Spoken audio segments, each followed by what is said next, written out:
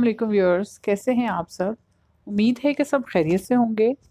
Viewers आज आपके साथ जो मैंने शेयर करना है वो एक आ, समझ लें कि जिन लोगों को अगर एक्नी का इशू है तो उनके लिए तो ये एक बहुत इंपॉर्टेंट वीडियो है।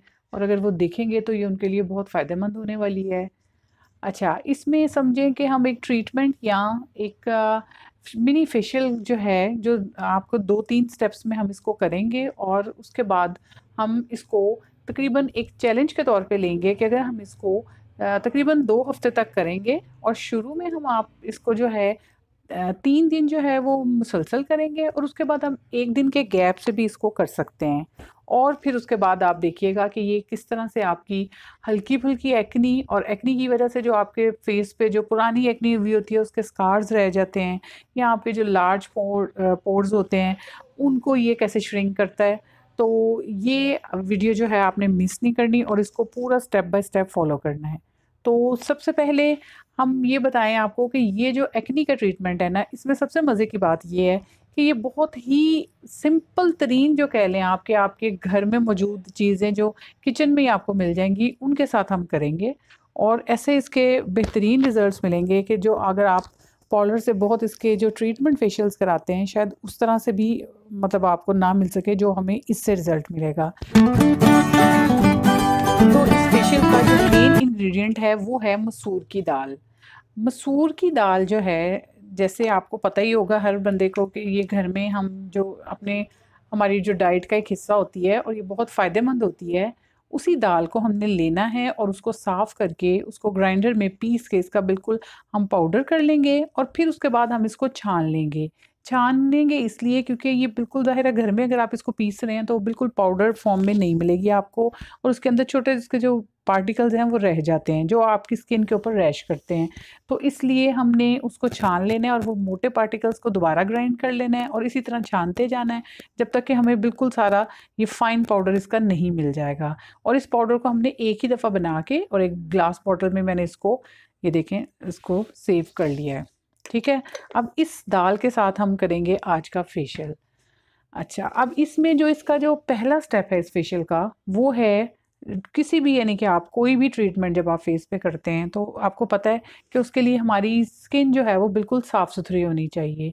वो इसलिए क्योंकि एक साफ़ सुथरी स्किन के ऊपर हम जो भी बाद में स्टेप फॉलो करते हैं या जो भी हम अपना कुछ भी इंग्रेडिएंट लगाते हैं तो वो बहुत अच्छे से अंदर तक पेनिट्रेट होती है और अपना काम करती है।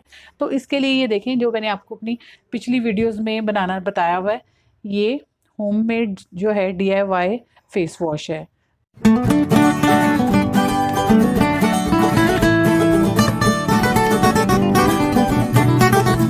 हम सबसे पहले क्या करेंगे? हम फेस वॉश जो है, थोड़ा सा अपने हाथ पे लेंगे और इसके साथ हम बिल्कुल इसको समझ लें कि आप पानी के साथ इसको, बेशक आप हाथ पे इसका पेस्ट एक बनाएँगे और ये पेस्ट जो है बना के आप इससे अपने फेस के ऊपर पूरा क्लेंजिंग करेंगे। ये देखें, ये मैंने हाथ के ऊपर ही इसको थोड़ा पानी डाल के और इसका बिल्कुल पतला सा पेस्ट बना लिया है। अच्छा इस पेस्ट का जो है, ये फ़ायदा होता है कि आप इसको जिस तरह, इस तरह के किसी भी जार में इस फेस वॉश को बना के बेशक अपने वॉशरूम में ही रख लीजिए ताकि आपको इसको ज़्यादा वो, जब हम लंबे चौड़े चक्करों में रहते हैं कि इसको बाकायदा हम किसी बाउल में इसका पेस्ट बनाएँगे और करेंगे तो सुस्ती में हम अक्सर इसको यूज़ ही नहीं करते।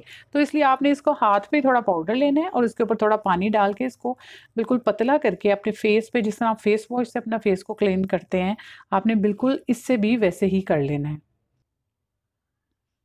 ये देखें जब इसको मैं आपको हाथ पे अप्लाई करके दिखाती हूँ कि इसको आपने हाथ पे अच्छे से पानी लगा लगा के इसको आपने पूरा ऐसे मसाज करना है ताकि आपका जो, जब आप तो ज़ाहिर इसको फेस पे करेंगे ना तो आपने इसको फेस पे ऐसे ही बिल्कुल अपने लिप्स के अराउंड और नोज़ के एरिया में सब जगहों पे आपने बिल्कुल अच्छे से इसका मसाज करना है ताकि कहीं पे भी जो आपकी स्किन के अंदर डर्ट या इम्प्योरिटीज़ या कोई मेकअप जो अगर किया हो तो उसके कुछ बच जाते हैं तो वो सब अच्छे से क्लीन हो जाए। आपने इसको आ, मतलब समझ लें कि एक दो मिनट लगा के अच्छे से फेस वॉश करना है ठीक है? अब ये हमारा हो गया पहला स्टेप फेस वॉश का। अब मैं ये आ, जो है हाथ को साफ़ करके तो आती हूँ।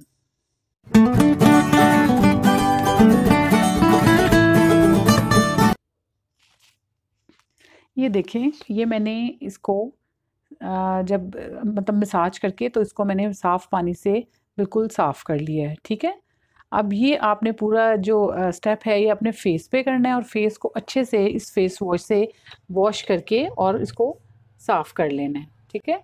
ये हो गया हमारा पहला स्टेप क्योंकि पहले स्टेप में हम अपनी स्किन को क्लीन करके एक नीट क्लीन जो स्किन है वो लेंगे, ताकि इसके ऊपर हम अपनी अगली प्रोडक्ट्स जब अप्लाई करते हैं तो वो अच्छा रिज़ल्ट दूसरा स्टेप जो है वो इसका है कि जिसमें हमने, जैसे ये मैंने आपको बताया ना, ये दाल हमने पहले ये बना के रख लेना इसका पाउडर ठीक है? अब हमने क्या करना है, ये दाल एक चम्मच जो है, वो एक टेबल स्पून समझ लें दूध में, अगर वो रॉ मिल्क हो तो फिर वो बहुत ही अच्छा है। लेकिन अगर रॉ मिल्क नहीं है तो आपने ये नहीं करना कि आप इसको ना बनाएँ। आपने सिंपल जो बॉयल्ड मिल्क है, आपने उसमें से एक टेबल स्पून लेना है और उसमें समझ लें कि आपने हाफ़ जो टी स्पून है, उसको ये मसूर की दाल का जो पाउडर हमने बनाया था, हमने इसमें, इसको भिगो के तकरीबन 10-15 मिनट के लिए रख देना है। अब उसकी वजह क्या है? क्योंकि देखें, दाल जो होती है वो चूँकि थोड़ी आ, मतलब कह लें आप उसको कि सख्त उसमें होते हैं जो बेशक कि हमने इसको पाउडर फॉर्म में किया है लेकिन फिर भी उसमें एक सख्ती सी होती है जब हम इसको दूध के अंदर भी भिगोएँगे तो वो दाल बिल्कुल सॉफ्ट हो जाएगी और जब फिर हम उसको अपने फेस पे लगाएँगे तो वो हमें कोई प्रॉब्लम नहीं करेगी। ठीक है? अब हमने क्या करना है? हमने इस जो है ये हमारा एक क्लेंज़र तैयार किया हमने। ठीक है? पहला स्टेप था हमारा फेस वॉश दूसरा स्टेप जो है ये क्लेंज़र है। अब ये क्लेंज़र जो है, ये हमने इसमें एक तो मसूर की दाल है, दूसरा दूध है। दूध के अंदर आपको पता है लैक्टिक एसिड होता है और लैक्टिक एसिड जो आप जितनी मार्केट से भी प्रोडक्ट्स लेते हैं क्लेंजिंग के लिए, उन सब में वो शामिल होता है। और यहाँ पे ये हमें बिल्कुल अपनी रियल फॉर्म में अगर मिल रहा है तो ये ज़ाहिर है बहुत बेहतरीन है। इसलिए इसको हम क्लेंज़र के तौर पर इस्तेमाल करेंगे और इसको जब हमने दस मिनट भिगो लिया, उसके बाद हमने इसको अपने फेस पर लगाना है। ठीक है? और इसको हल्का सा मसाज करना है। और मसाज करने के बाद हमने इसको टेन मिनट्स के लिए फेस पे छोड़ देना है अप्लाई करके। Later. जी तो जब हमने इसको फेस पे अप्लाई करके टेन मिनट्स के लिए छोड़ दिया तो टेन मिनट्स के बाद अब हमने क्या करना है कि ये जो हमने थोड़ा सा इसमें ये क्लेंज़र बचाया था ये हमने लेना है हाथ पे यही मसूर की दाल और दूध का वाला मिक्सचर का। और ये हमने दोबारा फेस पे अप्लाई करके और बिल्कुल हल्के हाथों से मसाज करना है। अब इसमें जो याद रखने वाली बात है, वो ये है कि आपने जो फेस पे जब इसको अप्लाई करना है तो जो आपने मसाज करना है, क्योंकि ये जो आज का जो फेशियल या ट्रीटमेंट है, ये हम करें एक्नी प्रोन स्किन के लिए। जिनकी स्किन के ऊपर एक्नी हो जाती है या हल्की फुल्की एक्नी अभी भी मौजूद है या उसके जो स्कार्स हैं तो एक्नी वाली स्किन के ऊपर पता है आपको कि हम बिल्कुल भी मसाज नहीं करते। तो हमने उसमें क्या करना है कि हमने सिर्फ़ फेस के ऊपर उसको लगा के और 10 मिनट के लिए छोड़ देना है और 10 मिनट के बाद हमने बिल्कुल हल्के हाथों से पूरे फेस पे, जैसे आप फेस वॉश का मसाज करते हैं सेम उतने ही प्रेशर से हमने हल्का हल्का बिल्कुल फेस के ऊपर इसको आ, हाथ गीले करके तो आ, इसको रब करना है और जिससे ये बिल्कुल आपका जो है ये मिक्सचर वो दोबारा से नरम हो जाएगा और उसके बाद आपने क्या करना है कि आपने इसको ये देखें साफ़ कर देना ठीक है? और या फिर आप ऐसे भी कर सकते हैं कि आप फेस को वॉश कर लीजिए।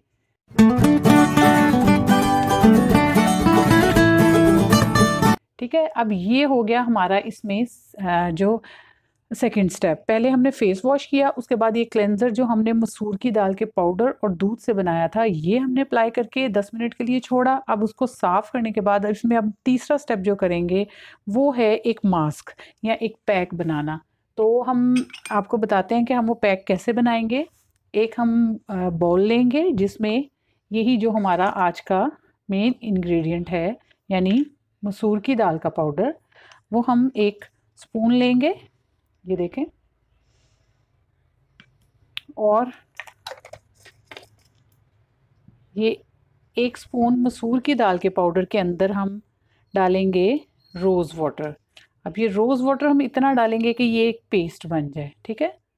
ये देखिए, इसमें हमने तकरीबन वन टीस्पून जो है वो रोज़ पाउडर रोज़ वाटर डाला और इसमें जो तीसरी चीज़ डलेगी, वो होगी ये रोज़ पाउडर ठीक है? अब इसमें तकरीबन हम वन फोर्थ जो टीस्पून है, वो डालेंगे रोज़ पाउडर का।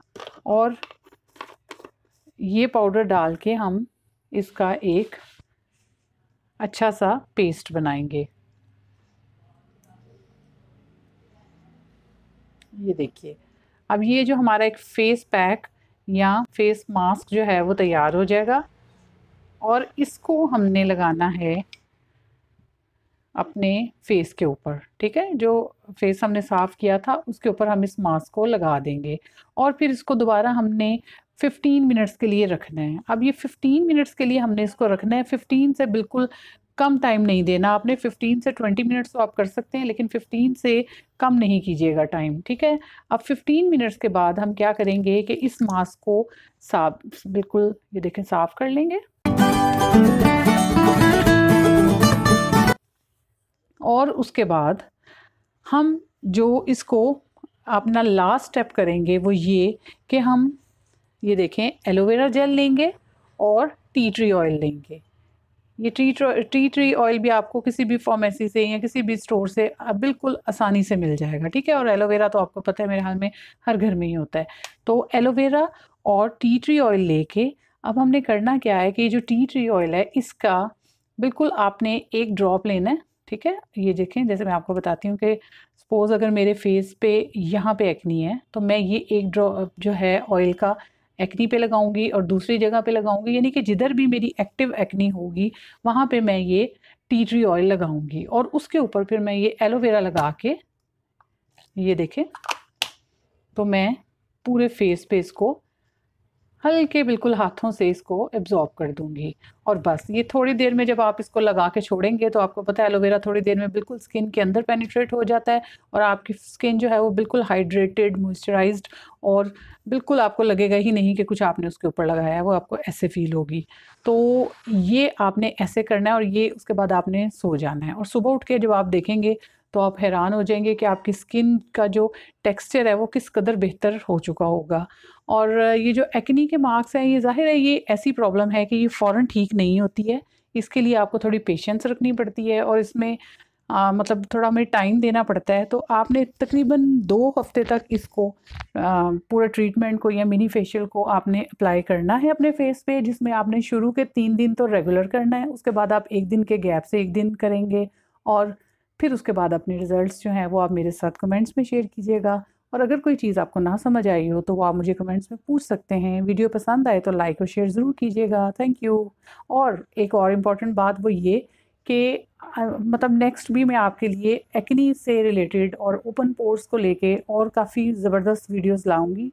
और इन पहले मुझे आप इसका बताइएगा कि ये आपको कैसा लगा। ओके हाफिज़